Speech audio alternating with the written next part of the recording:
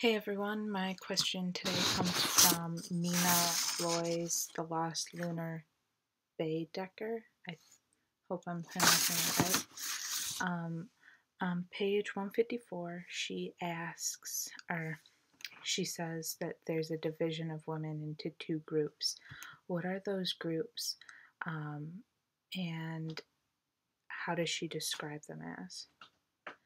Um, also, on a side note, why do you think she's emphasizing certain words and um, making them larger and underlining them? Thanks.